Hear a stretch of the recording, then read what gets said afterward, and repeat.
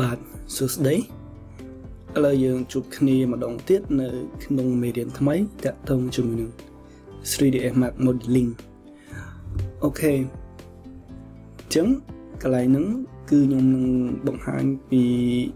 ការរៀន 3ds Max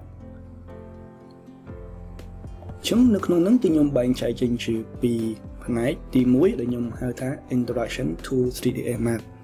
ទី2គឺ 3ds Max for beginner ជាក់ស្ដែងទាំងពីរនេះគឺជាផ្នែក beginner ដូចគ្នាទេតែបើយើងធ្វើឲ្យវាកាន់តែងាយស្រួលកុំឲ្យយើងមាន feeling មួយថា 3ds Max ពិបាកអូខេខ្ញុំបញ្ជាក់បន្តិចជាមួយនឹង method នេះយើងអាចយកទៅប្រើនៅក្នុងកម្មវិធីផ្សេងផ្សេងដូចគ្នាបានដូចគ្នាដែរនៅពេលដែលយើងចង់រៀនអ្វីមួយ អូខេអញ្ចឹងទីមួយនេះតកតងជាមួយនឹង introduction to 3ds Max គឺជាមេរៀនដែលយើងកំពុងតែជជែកគ្នានេះហើយយើងនឹងបន្តចូលទៅក្នុងអាចថាជា chapter មួយទៀត 3ds Max for beginner អញ្ចឹងផ្នែកនេះគឺយើងនឹង practice modeling object តូចតូចរហូតដល់យើង modeling អាគាររបស់យើងអូខេអញ្ចឹងផ្នែកទី1នេះគឺ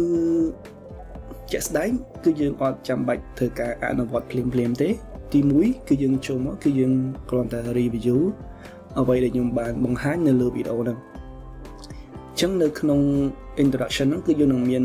4 5វីដេអូដែលនិយាយតាក់ទងជាមួយ overview របស់ 3ds map តែយើងគួរតែចាប់ផ្ដើមពីកន្លែងណាទៅខ្លះយើងគួរតែយល់កន្លែងណាខ្លះដើម្បីឲ្យយើងអាចធ្វើការនៅលើ modeling បាន អូខេអញ្ចឹងកន្លែងហ្នឹងគឺខ្ញុំបញ្ជាក់ឡើងវិញយើងចូលមកក្នុងទី1 introduction to 3ds map វីដេអូនេះគឺជាវីដេអូទី1ដែលនិយាយទៅទៅជាមួយនឹង overview របស់ 3ds map អញ្ចឹងកន្លែងហ្នឹងគឺយើងអាចថាយើងគ្រាន់តែព្យាយាមស្វែងយល់ពី concept idea នៅក្នុង 3ds map ជាមុនសិនយើងក៏អាចអនុវត្តផ្ទាល់ម្ដងក៏បានដែរគាត់តែយើងផ្ទៀងឲ្យវាយល់ថាវាកន្លែងហ្នឹងនៅក្នុងកុំព្យូទ័ររបស់យើងបែបយ៉ាងម៉េចនៅក្នុងនេះគឺខ្ញុំ បង្ហាញនៅលើ 3D Map 2024អញ្ចឹងមេរៀននេះគឺខ្ញុំបង្ហាញជាលក្ខណៈ overview អញ្ចឹងវាអត់ខុសគ្នាទេគឺវាដូចគ្នាអូខេអញ្ចឹងយើងមើលដំបូងឡើយពេលដែលយើងចូលក្នុង 3D Map មកយើងនឹងឃើញផ្ទាំងនេះដែលយើងហៅថា welcome screen អញ្ចឹងអាច click លើនេះបានដើម្បីយើងមើលអញ្ចឹងយើងកន្លែងនេះយើងគួរតែមើលវាបន្តិចទៅពេលដែលយើងបើក program ណាថ្មីថ្មីយើងគួរតែមើលវាបន្តិចដើម្បីគេ guide យើងគេណែនាំយើងថាយើង អាច access កម្មវិធីហ្នឹងបានដោយរបៀបណាខ្លះអញ្ចឹងបើយើងនៅលើលើទី1នេះគេគេប្រាប់យើងថា it you can dream it you can build it with 3D map អញ្ចឹង 3D map ថានេះជា professional 3D modeling animation rendering tool set design creative massive world អូខេអញ្ចឹងកន្លែងហ្នឹងគេបញ្ជាក់មកយើងថា program របស់គេហ្នឹងគឺវាទលំទលាយខ្លាំងមែនតើឲ្យតែយើងមានការសម្អល់សម័យអីគឺយើងអាចធ្វើវាបានអញ្ចឹងគឺវាខ្លាំង ជាមួយនឹង modeling animation និង rendering អញ្ចឹងគឺវា build មកសម្រាប់ធ្វើលើផ្នែកហ្នឹងហើយបើយើងមើល asset ទី2នេះតកតងជាមួយនឹងគេអាចថាជា so ជា UI គេហៅថា user interface របស់កម្មវិធីយើងគេចូលបង្ហាញមកនេះជា Scene Explorer Scene Explorer នេះគឺកន្លែងដុំនេះផ្ទាំងមួយនេះគេថា Scene Explorer ហើយយើងមាន control camera MU port display អញ្ចឹងគឺកន្លែងនេះគេគេ show ឲ្យយើងថា វាយើងចូលនៅលើកន្លែងណាកន្លែង sign in នៅលើនេះ command panel workspace time and navigation អញ្ចឹងពេលដែលយើងមើលកន្លែងហ្នឹងទៅនៅលើក្នុងហ្នឹងគឺវាមានច្រើនអញ្ចឹងគឺគេនឹងផ្វាញ់ចំណុចសំខាន់សំខាន់ដែលយើងគួរតែដឹងគួរតែយល់នៅក្នុង 3ds map តែជាក់ស្ដែងយើងមិនគាត់ថាយើងប្រើទាំងអស់នេះទេគាត់យើងដឹងតែគេបង្ហាញរបស់យើងមកអញ្ចឹងធួនីមួយៗនេះគឺយើងនឹង ស្វែងយល់ខ្លួនឯងបន្តបន្តរហូតដល់យើងអាចថាធ្វើការនៅលើវាបានយ៉ាងល្អហើយយើងចូលមកផ្នែកបន្តមកទៀតមកគឺយើងនឹងឃើញលក្ខណៈនេះគេថា navigation អញ្ចឹងទៅក្នុង program នេះក៏យើងទៅយល់ដែរតកតងជាមួយនឹង navigation navigation គឺសំខាន់គឺយើងគឺវាឲ្យយើងឲ្យយើងអាចបានន័យថាយើង view នៅក្នុង viewport របស់យើងបាន អញ្ចឹងនេះតកតងជាមួយម៉ៅម៉ៅជាមួយនឹង L អញ្ចឹងកន្លែងហ្នឹងគឺយើងអាចថា row tag OB អញ្ចឹងណាយើងពេលយើង pen គឺយើងប្រើ scroll កតាហ្នឹងស្កល់ឲ្យជាប់ហើយយើង scroll នេះយើង zoom អូខេអាហ្នឹងលក្ខណៈហ្នឹងគឺយើងប្រើច្រើនជាមួយនេះ perspective ហើយនឹង photography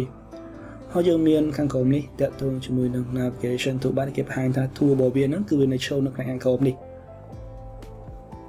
នេះកាមេរ៉ា view ដែលយើងឃើញនៅដំបូងមិញតែអូខេអញ្ចឹងអានេះកន្លែងវាគ្រាន់តែជាព័ត៌មានតិចតួច safety improvement អូខេអញ្ចឹងកន្លែងនេះគឺជា part មួយដែលយើងអាចចូលទៅស្វែងយល់បានក្នុងនេះគឺមានមេរៀនច្រើនអញ្ចឹង new ហើយនឹង help កន្លែងជាបណ្ដុំឯកសាររបស់ CDMA គេមាន sample file អីយ៉ាងមកហើយនេះតើតងជាមួយ1 minute startup movie ជាងយើងអាចចូលទៅព្យាយាមមើលអាណាដែលខ្លីៗដើម្បីឲ្យយើងយល់ពីវាខ្លះខ្លះយើងមាន tutorial មាន learning article អញ្ចឹងកន្លែងនេះទាំងអស់នេះយើងបើយើងបិទទៅយើងអាចរកបាននៅក្នុង help អូខេអញ្ចឹងកន្លែងនេះយើងអាចបិទទៅឬក៏យើងដោះគ្រីសនេះដល់ពេលដែលយើងបិទយើងទៅយើងឡើងឃើញ welcome screen រហូតអញ្ចឹងបើយើង click លើនេះគឺយើងនឹងឃើញ welcome screen មករហូតអូខេអញ្ចឹងកន្លែងហ្នឹងពេលដែលយើងបិទទៅ ជើងចង់បើកវិញយើងចូលក្នុង help នេះយើងឃើញមានកន្លែងហ្នឹងអញ្ចឹងនៅក្នុង CDM ពេលដែលយើងចង់រៀនអ្វីទាំងអស់គឺវានៅក្នុង help វាអត់ខុសគ្នាដែរ product របស់វាមួយមួយគឺវាមាន help tool ដើម្បីណែនាំយើងទៅកាន់កម្មវិធីរបស់វាជាងកន្លែងនេះវាមានច្រើន CDM map help what new welcome screen តែជាក់ស្ដែងទាំងអស់នេះពេលដែលយើងចូលទៅគឺវា link ទៅ website មួយឈ្មោះថា Area Learning Autodesk Area Learning គឺជាបណ្ដុំ library ថាមេរៀនដែលជាទូទៅគឺមាននៅក្នុង YouTube សឹងទាំងអស់ហើយគ្រាន់តែគេយកមក organize នៅក្នុង website របស់ Autodesk Area អញ្ចឹងកន្លែងហ្នឹងគឺយើងអាចចូលទៅរៀនបានដោយ free ភាគច្រើនគឺ link ជាមួយនឹង YouTube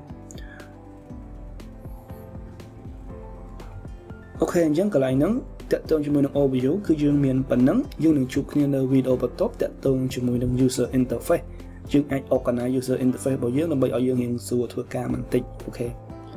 ចឹងយើងមានប៉ុណ្ណឹងជួបគ្នានៅវីដេអូក្រោយទៀតបាទអរគុណ